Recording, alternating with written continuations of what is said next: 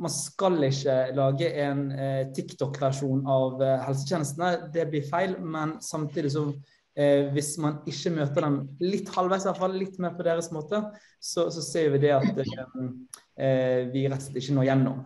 Ja, så Mitt navn er Øyvind Grimsgaard, som uh, Gro sa. Jeg jobber i Joel som dagleder. Um, og um, siden vi startet selskapet i 2015, så har vi hatt en sånn samskapningsstrategi med det offentlige. Så vi syns jo eh, dette prosjektet her er spesielt spennende. Vi har jobbet med eh, Helse Bergen og Bergen kommune om å lage en ny digital tjeneste for ungdom 13-16 år som har mild til moderat angst.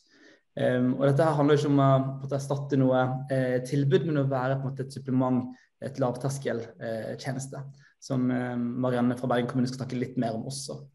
Um, så, så, i dag tenkte jeg egentlig å presentere litt, uh, uh, som, som Gro sa, litt bakgrunn, uh, reisen for hvordan vi har laget dette, og så um, vise litt hvordan verktøyet er. Så da gir jeg ordet først over til, til Marianne. Ja, jeg heter som sagt Marianne Vevle Skyber. Jeg er enhetsleder i et byområde i Bergen som heter Fana og Ytrebygda. Eh, og for å gi et perspektiv på det, så er vi faktisk større enn Kristiansand by. Eh, bare for Ja. Eh, I Bergen så har vi ca. 55 500 barn fra 0 til 18 år. Etat for barn og familie har 800 ansatte. Eh, og vi har bl.a. lavterskeltilbud allerede, eh, som vi har opprettet i 2018. Eh, og vi skal være lavterskel for å ta kontakt, trenger ingen diagnose. Eh, og intensjonen er at de skal få hjelp raskt. Eh, vi tilbyr ulike ting. Samtaler, grupper, veiledning til foreldre osv.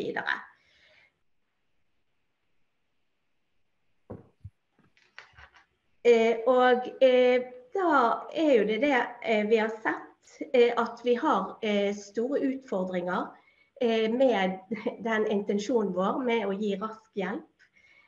Vi har veldig stor pågang til de lavterskeltilbudene vi har. Ventelistene øker. Vanskelig å hjelpe alle. Det kan ta lang tid å få hjelp. Og tallene våre viser at angst er den vanligste årsaken til at unge ber om hjelp. Vi vet òg at angst er utbredt i befolkningen. Eh, Ca. 25% opplever det i løpet av livet. Eh, og dagens tilbud er samtaler, grupper, som er veldig ressurskrevende. Og brukerne må jo òg møte fysisk hos oss, eh, og det passer ikke for alle. Eh, og som sagt så tilbyr vi lavterskeltilbud eh, til unge med angst. Eh, men vi ser at vi ikke når alle. Eh, og eh, vi eh, er med på dette og heier på denne Modi. For vi ønsker jo at vi skal møte flere, og at vi skal ha en smart bruk av våre ressurser. Jeg kan si at I vårt byområde så har vi noe som ikke de har i de andre byområdene, men som er byomfattende. F.eks. noe som heter Ung Arena. Som er sånn ung-til-ung-metodikk. Og Der møter vi mange av de. Eh, men der har vi òg en sjette funksjon. Eh, fordi vi ser det at ikke alle kommer. Eh, og dette er en bit ut av det. Målgruppen det er jo alder 13 16 år. Mangfold tar hensyn til mangfoldet i populasjonen, både når det gjelder kjønn, minoritetsbakgrunn og sosioøkonomisk status osv. Problematikken er eh, generisk intervensjon som ikke rettes mot en spesiell type angst, men kan benyttes av unge med flere angstlidelser. Eh, men vi presiserer at det er med lette til moderate angstlidelser vi eh, har som målgruppe. Eh, og vi tenker at dette er et hjelpetilbud som passer eh, flest mulig. Eh, og med litt moderate vansker, som jeg har sagt, er veldig viktig å poengtere. Eh, modig eh, skal være for barn og unge eh, og redusere symptomer på angst. Økt inkludering, økt fremtidig yrkesdeltakelse, lavere terskel for å komme til behandling. gjøre helsetjenesten lettere tilgjengelig for barn og unge, erfaring med å tilby digitale helsetjenester, kompetanse på digitale helsetjenester. Eh, og vi ser jo i samfunnet at det er veldig, pilen går veldig opp bl.a. for det med skolevegring. Vi tenker at dette er et, eh, noe som kan være med på å redusere det. Eh, bedre psykisk helse for barn og unge og hindre utenforskap. Jeg syns Marianne eh, beskrev godt liksom, bakgrunnen for hvorfor vi gikk i gang med dette prosjektet. her. Um, og så er det et veldig godt uh, miljø oppe her ved Helse Bergen, uh, som har holdt på i mange år med um, digitale psykiske helsetjenester. Uh, spesielt der for barn og unge. og startet tilbake egentlig gjennom et eller først EM-mestring i 2012-2013, og så begynte et IKT Fyrtårn-prosjekt som heter Intomat i 2015. Um, og så fikk vi dette SFI-et her, da, Forskningssenter for digitale psykiske helsetjenester, i 2021. eller 22, ja. Og så um, har vi også uh, fått nå et uh, pilothelseprosjekt som heter Ungmeistring.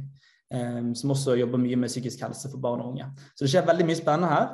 Et godt forskningsmiljø, og, og vi jobber som sagt da mye med samskaping. Um, og vi um, gikk i gang med et prosjekt som skulle bo hos Bergen kommune, som de skulle være eier for.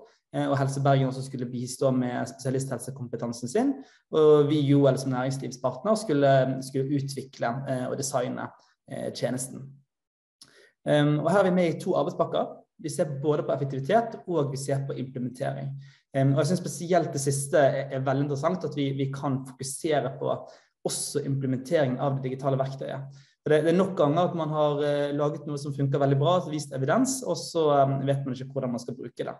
Og vi vet jo at Teknologi er bare en liten del. Mye av det er jo rett og slett menneskene og tjenestene, og hvordan man, uh, man driver denne organisasjonsutviklingen også. Så lite veikart, eh, hvordan veien har vært med Modin. Eh, vi begynte med en innsiktsfase. Um, dette er nok sikkert kjent for ganske mange, um, hvordan man måtte, kan lage disse typer digitale helsetjenestene. Men for de som ikke er like kjent med det, så vil jeg bare presisere at å, å begynne med å kartlegge behov um, på dagens reise, hvor utfordringene ligger, det, det er veldig viktig. Og, og, Grunnen til det er jo fordi at vi, vi klarer å definere behovene så godt og eh, kunne se på dem og, si sånn, og, og klare å vektlegge og prioritere eh, de viktigste behovene. Og, og, um, finne en god balanse mellom behov og intervensjon. Um, så, så, her snakket vi med, med mange eh, barn, unge og ansatte eh, i kommunen. Eh, og hadde dybdeintervjuer og observasjoner. Eh, vi hadde også visjonsworkshop med de riktige personene, hvor vi prøvde å tenke stort. Um, og så, etter vi har tenkt stort og forstått uh, bakgrunnen og behov uh, og utfordringer, så prøver vi å ta det litt ned. Da prøver vi å, å forstå hvordan kan dette her uh, bli noe som kan svare ut disse behovene her. Um, og, og holder på med en slags prototyping, og vi tester den veldig kjapt for å få tilbakemelding. Um, så da er det veldig grovskisser som vi, vi, prøver å få tilbakemelding på, og endrer det etter de, de tilbakemeldingene som kommer. da. Um, og, og, veldig tidlig så startet vi også med et pågående arbeid på ROS og DPI, sånn at vi vet at um, dette her er noe som kan tas i bruk. Og så har vært et, uh, ca. et år utvikling, um, der vi har utviklet den uh, digitale helsetjenesten. Dette gjør vi i noe som heter Sprinter, uh, hvor vi driver med design, utvikling, og så tester vi det som er laget. sånn at vi alltid har noe å teste og, og jobbe med. og disse sprintene de varer alt fra tre til, til seks uker. Så vi har testet det jevnt over året, og det også får jo ned den si, risikoen ved å utvikle noe, og vite at vi hele tiden dekker de behovene som vi, vi prøver å dekke. Um, og så Til slutt så hadde vi en litt mer eh, omfattende brukertesting uh, av mobilappen, og også fortsatt pågående ROSEDPI-arbeid. Og så nå, Akkurat nå så er vi på vei inn i fase tre. Um, vi skal starte en pilot nå i april, uh, som skal være i uh, Helse Bergen. Eh, og deretter en større studie eh, i Bergen kommune som vi håper å starte i, til høsten en gang. Um, og Der eh, skal vi da se på som sagt, både effekten, funker dette her, og også implementering, hvordan vi skal ta den i bruk i etterkant. Ja, nå har jeg sagt mye om eh, innsiktsfasen her. Eh, vi kan legge til at vi har brukt av design thinking eh, som metodikk. Eh, og Innsiktsarbeidet har vært en slags kombinasjon av litteraturgjennomgang, intervjuer og observasjoner. Her synes jeg det er interessant å finne den balansen med at man man får disse behovene som ingen behov er feil, alt er ekte, eh, men du skal likevel kunne prioritere. Og så, skulle, så må man også ta hensyn til si, 40 år med forskning på angst, og finne den balansen. Og så har vi hatt mange workshops og har drevet med konseptutvikling, prototyping og brukertesting. Og litt av tilbakemeldingene fra den innsiktsfasen det var at det finnes mye informasjon om dette, men det er veldig vanskelig å navigere seg i mengden. Vite hva som er riktig, og, og hva som er for meg. Samtidig så finnes det også mange ulike tilbud, men det er kanskje vanskelig å forstå hvem som kan hjelpe. Og det brukes et tungt fagspråk som ikke de forstår, som ikke er på, på deres premisser. Så Ønsket her det var jo det at disse digitale tjenestene de må være enkle å bruke, de må ikke ha for mye tekst. Og så ønsker de å bli møtt der de er. For det er jo på telefonen. Og Så så vi også at det var en rekke egenskaper ved målgruppen. Og Disse egenskapene de var viktig å ta hensyn til når vi drev og utviklet Modi. Det var f.eks. at de hadde manglende forståelse av angstens mekanismer, så vi må fokusere på psykoedukasjon. Det var en varierende grad av motivasjon, evne til egeninnsats og selvstendighet, altså en høy dropout. Og dette er kanskje ekstra forsterket i forhold til at det handler om eksponering som kan være tøft å stå i. Det er varierende grad av eh, sosial støtte. Behov for eh, terapeutstøtte, som henger ofte sammen med dette med eh, evne til motivasjon og egeninnsats. Det var begrenset evne til å tåle ubehag og motivasjon til å stå i det. Og så kan det være vanskelig å forstå og gjennomføre riktig eksponering på egen hånd. Man har en begrenset utholdenhet, sånn hvor lenge man orker f.eks. å lese tekst eller jobbe med noe. Man ønsker om rask respons og raske løsninger. Ønsker fleksibilitet og valgmulighet, og ønsker om eh, kontroll. Så vi tok på disse egenskapene til oss og prøvde å forstå hvordan da kan vi lage en, eh, en god tjeneste. Og vi ser jo det at vi, vi trengte å ha noe form for uh, terapeutstøtte og oppfølging. Og vi trengte å, å gjøre informasjonen så enkel som mulig også, sånn at um, de orket å lese og gå gjennom dette. Dette ble jo Modi-appen. Den sliden helt til høyre her, det er landingssiden. Jeg skal snakke litt mer om den uh, snart, men derfor vil kunne navigere seg til de ulike områdene. Og så er eh, selve appen strukturert opp i moduler. Så ser man her at man begynner på kapittel 1 i første modul. Hva er angst? At man jobber seg gjennom det. Og måten de eh, tar inn seg innholdet på, eh, er i stor grad eh, eh videoer og korte tekstbiter. Eh, og dette har vi eh, distribuert gjennom en chatbot, som vi kaller det. Og grunnen for chatbot det var dette at de, måtte, måtte, få dem til å henge med, til å orke å lese mer og mer tekst. Jeg skal også vise litt mer om det, det snart. først en liten video. Eh, og, og, her ser du at man eh, kommer inn, man uh, logger på, og man får disse små meldingene i modulene, og man får disse svaralternativene. Så teksten blir, blir brutt opp, det er enklere å lese, man føler man kan interagere, og man ser at man klarer å holde brukeren lenger, og de, får, de leser mer tekst. Så, så, sånn har vi på en måte da strukturert de ulike eh, modulene av innholdet, eh, og, og, også har da mye videoer og bilder her. Og så har vi landingssiden, hvor man kan nå de ulike områdene, som f.eks. mine utfordringer, som man kan fort eh, gå tilbake igjen eh, i, i, de type øvelsene. Man også har mine mål der oppe. Man har et mitt bibliotek der man kan lagre det som er viktig for, eh, for seg. Om det var ulike videoer eller historier som ble fortalt, eller tips og triks eller øvelser. Og så har man en egen side som heter Mine øvelser, hvor man skal da eh, skrive ned de eksponeringsøvelsene man skal gjennomføre, sånn som holde presentasjon eller rekke opp hånden, timen. Og så skal man evaluere den etterpå eh, man har lagt den inn, og si hvordan gikk det. Um, og her vil man også skulle gjøre samme øvelse flere ganger, og man kan se hvor behagelig det faktisk var, og eh, reflektere rundt tankene. Så jeg ser du at Første gangen var det kanskje 77 vanskelig, og siste gangen var det kanskje 22 av 100 vanskelig.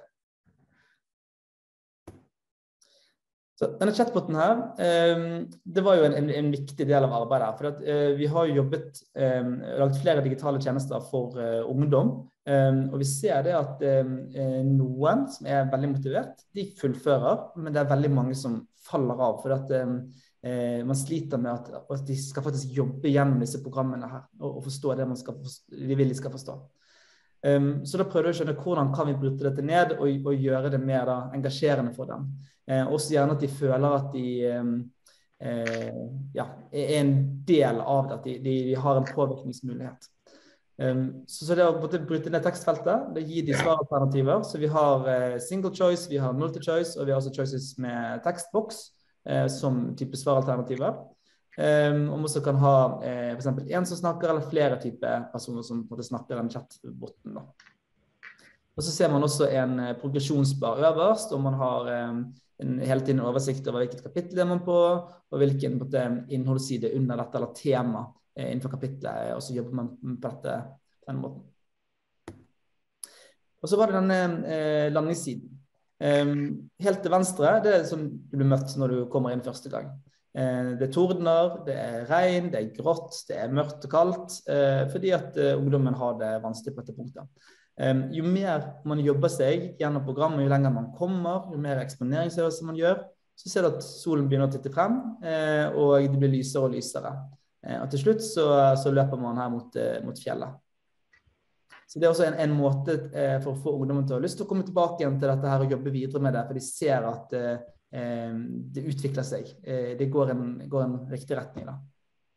Og det samme har vi gjort med, med, med mine øvelser. Vanligvis i sånne type programmer så har man bare noen tekstfelt man skriver ned det man skal gjøre, og så må man huske på det litt selv. Så her har vi prøvd å um, gjøre det mye mer interaktivt, uh, og også bruke en del sånn gamification-elementer uh, i det. Så da skal man logge, altså skrive inn sine øvelser og litt sånn tanker om, om um, f.eks. katastrofetanker, og hva som kan skje, og hvor vanskelig det blir og sånt. Og så skal man gjennomføre disse flere ganger da, på ulike vanskelighetsgrader.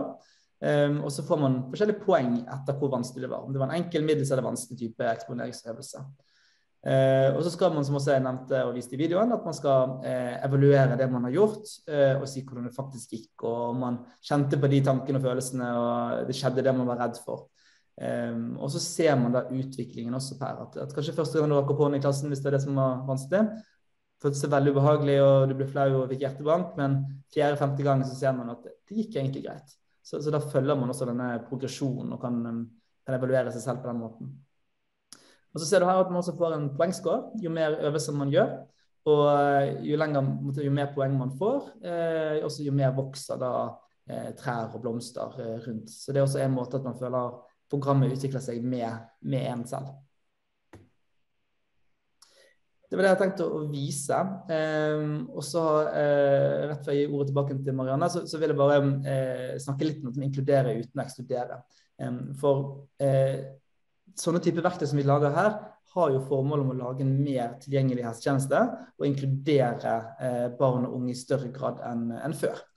Um, samtidig så er det også på en måte noe ekskluderende.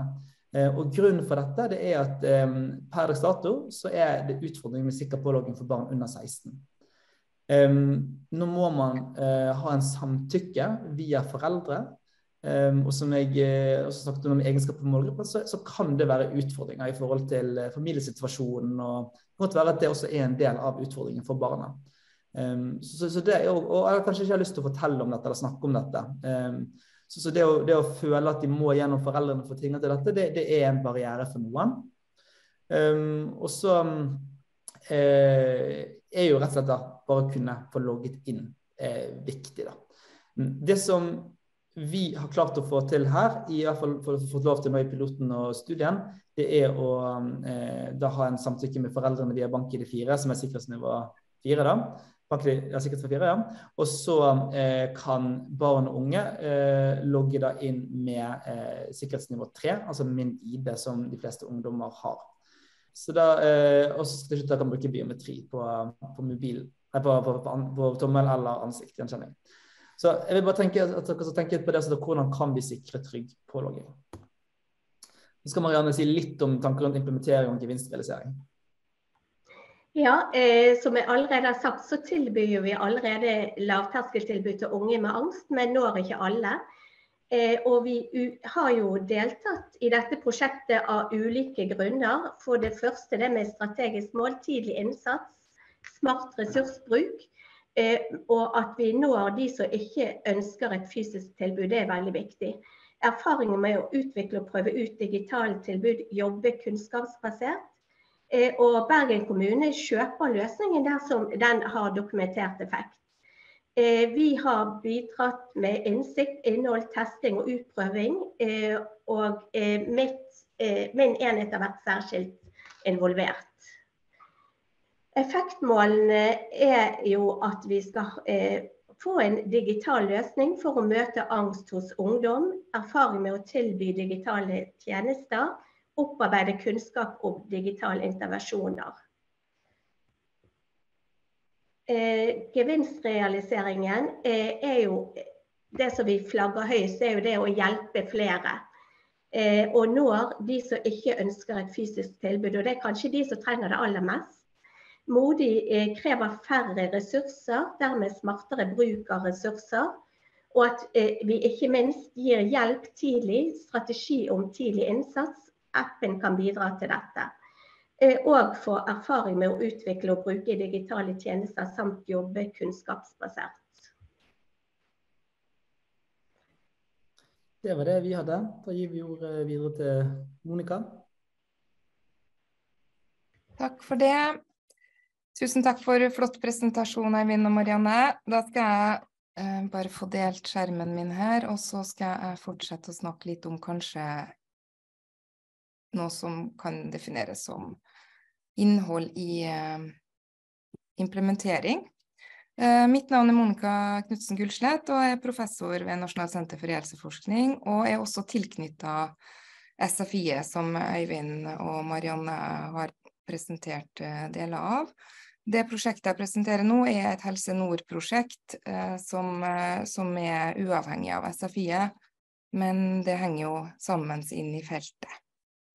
Um, vi har i det prosjektet her lagd fem prinsipper for hvordan få til gode videokonsultasjoner i klinisk praksis, og jeg skal gå nærmere inn på dem, bare kort om de. Det ene er om informasjon, samhandling og medvirkning, og one size does not fit all. Det andre er trygge lokaler. Uh, tre er samtale og kommunikasjon. Fire er om når flere er involvert i møtene. Og det femte handler om teknologien. Og det er klart det å ta i bruk og implementere teknologi, som Øyvind allerede har nevnt, kan være en utfordring. Så det er viktig å se på hvilke faktorer som bidrar til å få til en god prosess rundt det. Litt om bakgrunnen for det prosjektet her. Eh, vi satte i gang med to prosjekter allerede i mars 2020 rundt det her med bruk av videokonsultasjon i psykisk helsevern for barn og unge i en nedstengningsfase. Og mm, vi har hatt intervjuer med behandlere om hvordan de bruker video, hva de tenker om det, og hvordan det skal brukes. Og vi har også da intervjua eh, 33 ungdommer og 12 pårørende i de prosjektene. Og vi avslutta siste intervju for et år siden. Eh, vi har hatt med oss den gjengen her i det prosjektet her. Det er en kompetansegruppe som består av brukere og eh, en pårørende og oss forskere inn i det. Eh, kompetansegruppa har fulgt prosjektet helt fra starten av og gitt innspill, og vi har diskutert masse rundt både utforming av prosjekt og hva eh, som skal komme ut av prosjektet. Så dermed også da de prinsippene. I tillegg til Eh, den kunnskapen som vi har utvikla lokalt, så har vi også kikka inn på en del forskning som, eh, som, er gjort på det med bruk av videokonsultasjon under spesielt pandemien.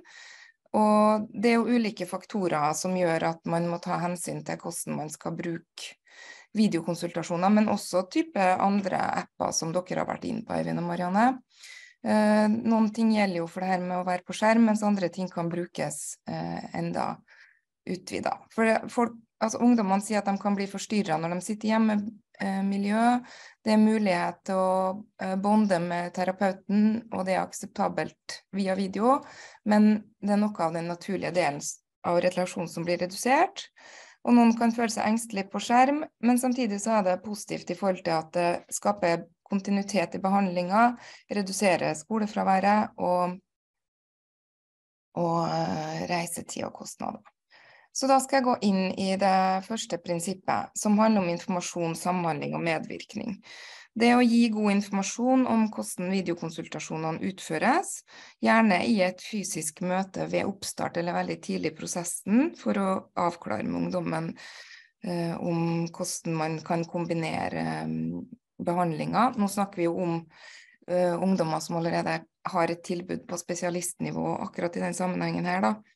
Um, og det må legge til rette for uh, tidspunkt som passer f.eks.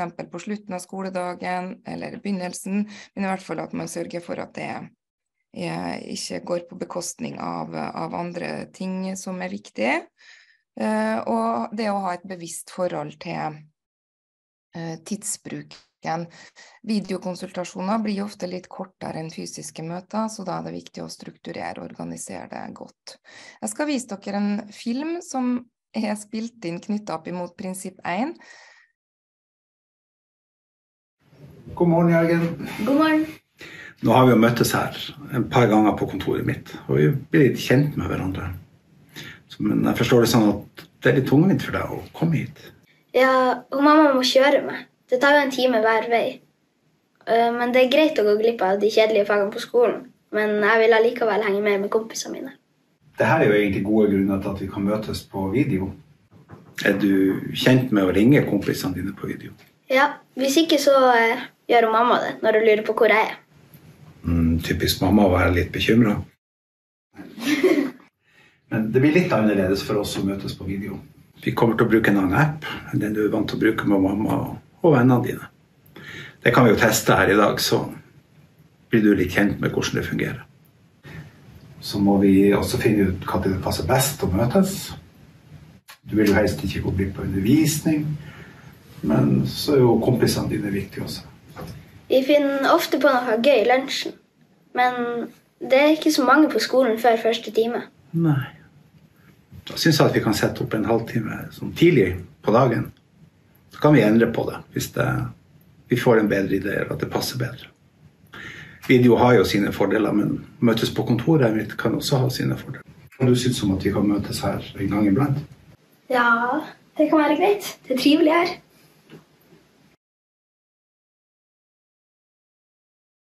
Ja, sjekk om de unge ønsker å møtes både fysisk og på video, vær lydhør og legg til rette.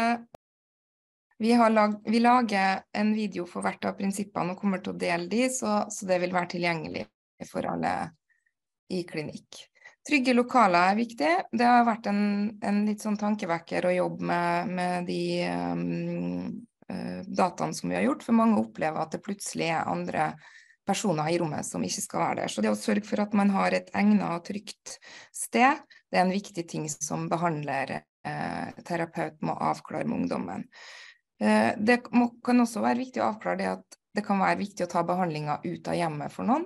At man får eh, en pause, et friminutt fra eventuelle vanskelige forhold i hjemmet. Eh, hvis det er videokonsultasjon på skole eller jobb, så sjekk om det er mm, ålreite rom og lydtett. Ja.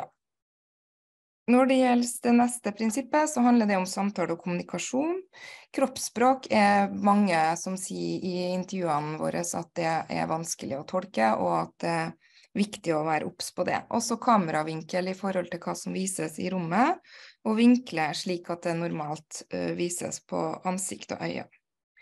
Blikkontakt via skjerm kan også gi en følelse av mer nærhet. Uh, se inn i kameralinsen og bekrefte uh, tilstedeværelse og oppmerksomhet. Observere, vær ekstra obs på observasjon, både i forhold til symptomer og hvordan pasienten har det. Og Det er òg en ting som de kompetansegruppa våre snakka mye om, det var det her med å våge å være stille på skjermen. Selv om det blir en pause, så la det også være en, et rom for det der. Eh, hvis man har mulighet til å bruke illustrasjoner og se på ting sammen, som f.eks. den videoen som er knytta opp imot prinsippene her, så kan man bruke det som en del av, av uh, samtalen. Når flere er involvert i møtene, så er det viktig å mm, være obs på at hvis pasienten eller brukeren sitter i et eget rom en annen plass, og det sitter flere fagpersoner og og um, i et rom på andre sida, så kan det oppleves veldig ubehagelig og vanskelig å få sagt noen ting. Så hvis det er et ansvarsgruppemøte f.eks., eller møter med andre involverte, så kan det være mest hensiktsmessig at behandler og bruker sitter sammen, eh, eller at alle sitter på video. Um, og det krever veldig tydelig ledelse og strukturering og involvering i de møtene her. Uh, når det gjelder teknologien, så er det veldig viktig å gi informasjon om hvilken plattform som brukes. Eh, sørg for at pasienten, brukeren, får god opplæring i det systemet som, eh, som de har, men også bruk det, teste sjøl internt. Det ser vi en del superbrukere og grupper som har tatt i bruk det her fort, at de tester på hverandre og bruker det i fellesskap. Eh, sørg for en trygg og brukervennlig digitalt møterom, og sjekke at internett og teknisk utstyr uh, uh, virker. Vi så veldig mange som erfarte at samtaler ble brutt og måtte gå over på telefon. Så det, det å ha en backup-plan er viktig å være enig om det. Hvis det blir brutt, så ring opp. Uh, vi ser at det er mange utfordringer med implementering av helseteknologi, og da syns jeg det sitatet fra Jon Bing er fint å illustrere litt av det. De som sier at teknologien er nøytral, har aldri prøvd å se forskjell på en blyant og en øks, øh, sier John Bing. Og det er jo en, eh, en, viktig ting å tenke på hvilken type teknologi man bruker. Og så er det det her da med mm, at man føler seg kanskje ikke helt committa til terapien når man er på video. Så viktig å ta med seg videre. Så takk for oppmerksomheten.